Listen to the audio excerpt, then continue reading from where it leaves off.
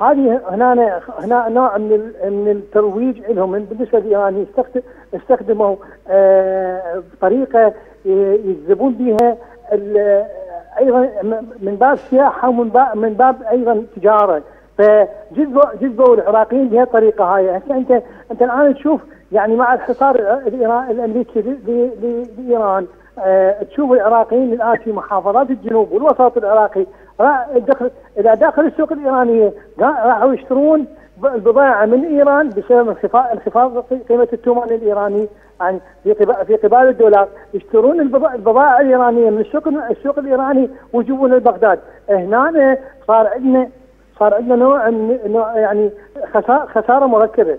الأولى نعم. هي يعني هي الأولى هي تهريب الد- الد- الدولار إلى خارج العراق والثانية تكدس البضائع لدى لدى